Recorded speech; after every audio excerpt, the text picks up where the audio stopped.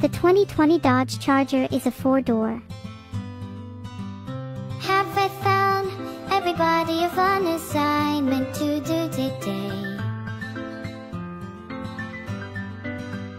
When you're here, everything that we do is fun for them anyway.